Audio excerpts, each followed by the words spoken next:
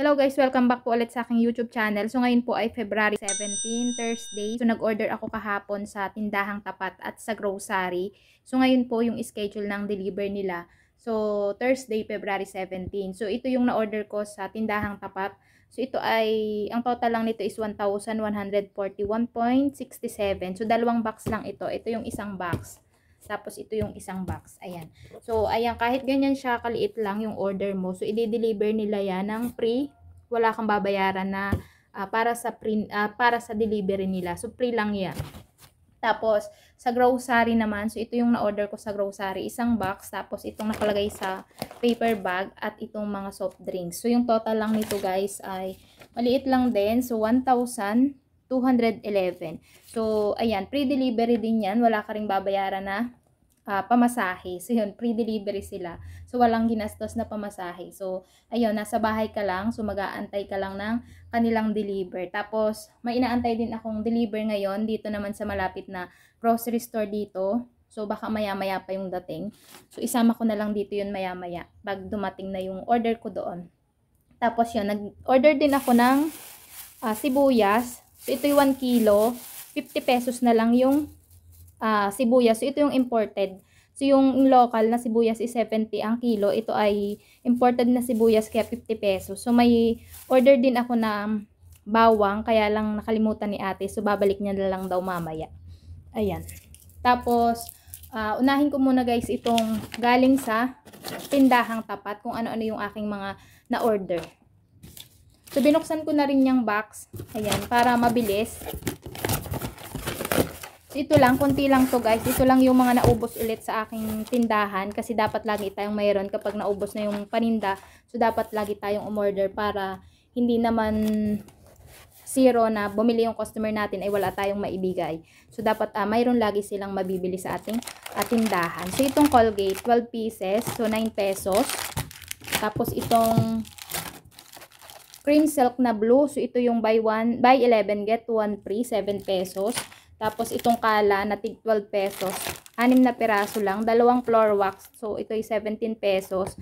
Dalawang smart antibacterial. So tig 26 pesos. Tapos itong yellow 26 pesos din. So, yan lang yung laman guys nung nakalagay sa itong sa box na maliit. Tapos dito tayo sa pangalawang box. Ayan. So open na rin to. So, dalawang napkin na sisters. Ito yung 5 pesos. So, mayroon siyang uh, pad, 8 plus 1. Anim na bread pan, 7 pesos. Ayan, anim na berry nut, 7 pesos din. Anim na choco nuts, so ito'y 7 pesos. Isang Choco Top, 7 pesos din. Dalawang ice bag. So, ang ice bag is nasa 22 na. Dati ito nasa 18 lang ang puhunan. So, ngayon ay 22 na yung bili ko. Puhunan pa lang yun. Ayan, dalawa. So, ito ginagamit ko lang sa paggawa ko ng ice. Tapos, 12 pieces na Nor chicken, 6 pesos. Tapos, 6 pieces na Nor beef, 6 pesos. Tapos, 6 pieces na pork, 6 pesos din. Ayan. Moncher, isa. Tapos, lollipop, dalawa. So, ito yung piso. Ayan. Isang snowber. Ayan. Piso rin yung snowber. Isang max na red. Piso din. Tapos, isang rebisco. Ito yung tig 6 pesos. Tapos, isang ray taste. 6, uh, 5 pieces lang. So, ito yung 12 pesos din. Angel Condensada, isa. So, i-check ko pa yung price nitong Angel Condensada. Parang 43 ito ang benta ko. Tapos, tatlong giniling. So, mabenta na tong giniling ngayon. So, ito ay 45 pesos. Tatlo yung aking in-order. Ayan. Tapos, Reno. So, ito ay tatlo lang. So, ang benta ko dito nito is 31 pesos. Ayan. So, ito lang guys yung na-order ko sa tindahang tapat. So yan guys, dito naman tayo sa na-order ko sa grocery. So unahin ko muna itong nakalagay sa box.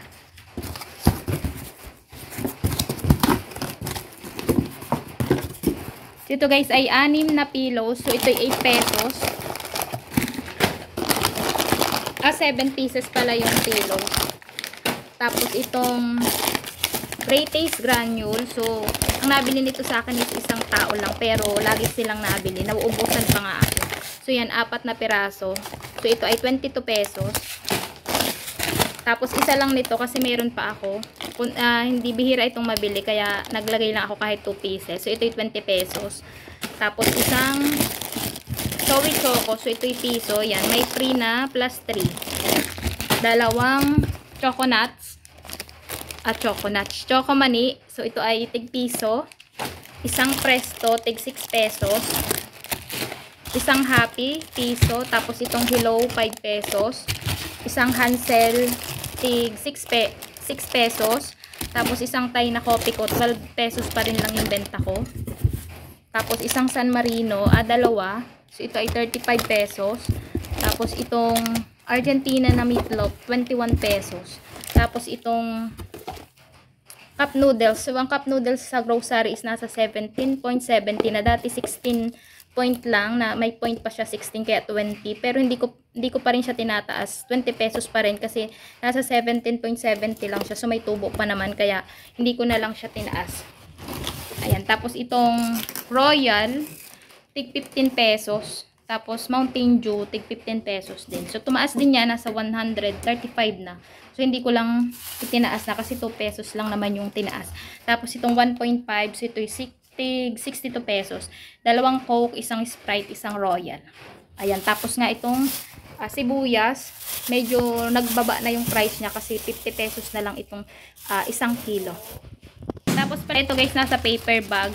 Munti ko nang makalimutan. Ayan, so body, ayan, serve.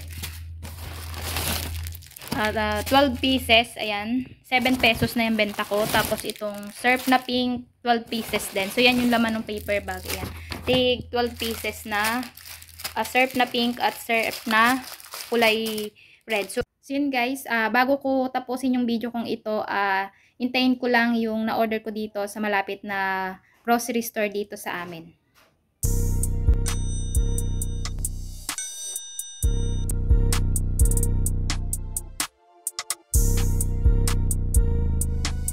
Ito na guys yung order ko dumating na from Sinmil Variety Store. So, ang total nito is 1,208. Pero may pahabol pa ako na Coke at saka Sprite na 8 ounce. Kasi hindi na pasama dito sa resibo. So, idadala na lang daw. So, na-message ko na. Minessage ko na lang. Tapos, ayan. Ipapatas ko na lang muna itong mga chicherya kung ano-ano itong mga na-order ko.